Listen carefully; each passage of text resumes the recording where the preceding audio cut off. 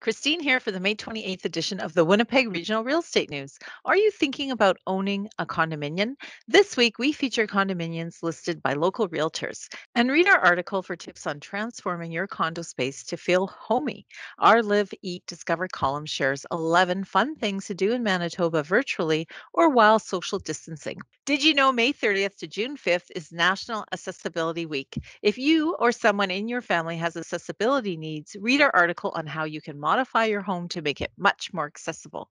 The Winnipeg Regional Real Estate News is available in print or visit us online. For 40 years, we have been a trusted source and your multiple listing service resource, a cooperative real estate selling system operated by the Winnipeg Regional Real Estate Board with listings from participating real estate professionals.